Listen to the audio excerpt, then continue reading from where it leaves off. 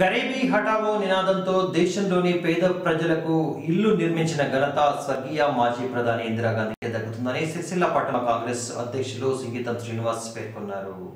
ఇందిరాగాంధీ నూట ఐదవ జయంతి సందర్భంగా సిరిసిల్ల పట్టణంలో శనివారం రోజు జరిగిన ప్రత్యేక కార్యక్రమంలో ఆమె చిత్రపటానికి పూలమాలలు వేసి ఘనంగా నివాళులు అర్పించారు. గరీబీ హఠావో నినాదంతో దేశంలోని పేద ప్రజల అభివృద్ధి కోసం పక్కా ఇల్లు నిర్మించడమే కాకుండా అనేక సంక్షేమ పథకాలను ప్రవేశపెట్టిన గొప్ప నేత స్వర్గీయ మాజీ ప్రధాని ఇందిరాగాంధీ అని సిరిసిల్ల పట్టణ కాంగ్రెస్ పార్టీ అధ్యక్షులు టీపీసీసీ సభ్యులు సింగీతం శ్రీనివాస్ పేర్కొన్నారు. పట్టణంలోని గాంధీ చౌక్ వద్ద మాజీ ప్రధాని ఇందిరాగాంధీ జయంతి సందర్భంగా ఆమె చిత్రపటానికి పూలమాలలు వేసి నివాళులు అర్పించారు. కార్యక్రమానికి ముఖ్య అతిథిగా జిల్లా కాంగ్రెస్ అధ్యక్షులు నాగుల సత్యనారాయణ హాజరయ్యారు.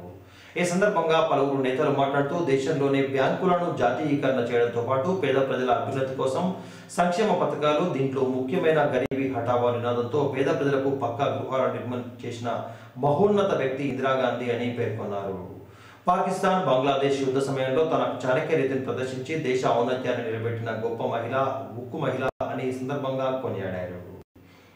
కార్యక్రమంలో మహిళా విభాగం కాంగ్రెస్ అధ్యక్షురాలు కాముని వనిత ఎస్సీసీఎల్ అధ్యక్షుడు బాలరాజు కరీంనగర్ నాలుక సత్యం ముష్టిపల్లి మాజీ సర్పంచ్ మల్లేశంగౌడ్ పట్టణ ప్రధాన కార్యదర్శి వెంగళ అశోక్తో పాటు శ్రీరాముల వెంకటేశం నక్క నర్సయ్య పట్టణ కార్యదర్శి కాసర్ల రాజు తదితరులు ఉన్నారు.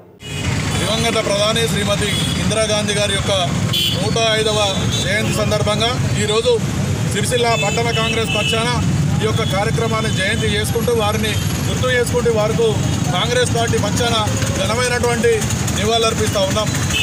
పేదల యొక్క గుడిసెలను ఇల్లుగా చేసి పేదలకు అందుబాటులో బ్యాంకు పే- ఏదైతే బడాబాబులకు అందుబాటులో ఉన్నటువంటి బ్యాంకులను పేదవులకి తెచ్చి ఆ విధంగా ఈ భారతదేశం కోసం ప్రతి రక్తం బొట్టు ఈ దేశ ప్రజల కోసమే చివరి రక్తం బొట్టు వరకు ఇస్తాను చెప్పినటువంటి మహానీయురాలు శ్రీమతి ఇందిరాగాంధీ గారు. వారు ప్రధానిగా నాలుగు పర్యాయాలు ఈ భారతదేశానికి నాలుగు పర్యాలు ప్రధానిగా చేసి ఆర్థికమైనటువంటి సంస్కరణలు కానీ ఇందిరాగాంధీ ఇరవై సూత్రాల కార్యక్రమాన్ని తీసుకొని భారతదేశాన్ని ప్రపంచ దేశాల పక్కన పెట్టినటువంటి మాననీయురాలు శ్రీమతి ఇందిరాగాంధీ గారు. వారు ఈ యొక్క భారతదేశ ఆర్థిక పరిస్థితిగా కాకుండా అలీనా దేశాలకు అధ్యక్షురాలిగా ఈ విధంగా ఎన్నో సంస్కరణలు తీసుకొచ్చి పేద బడుగు బలహీన వర్గాలకు కానీ మైనార్టీలకు కానీ స్త్రీల మహిళలకు కానీ పెద్దపీట వేసి ఈ గరీబీ అట అన్నటువంటి నినాదంతో ఏదే భారతదేశంలో పేదవారు ఉండొద్దు గ్రామాలన్నీ సస్యశ్యామలు ఉండాలనేటువంటి బృహత్తరమైనటువంటి ప్రణాళికతోని కార్యక్రమాలు తీసుకొచ్చి భారతదేశాన్ని అప్పటి వరకు బ్రిటిష్ కబంధ హస్తాల్లో ఉన్నటువంటి భారతదేశ ఆర్థిక పరిస్థితిని మళ్ళీ ప్రపంచ దేశాల్లో పైకి తీసుకొచ్చినటువంటి మాననీయురాలు శ్రీమతి ఇందిరాగాంధీ గారు.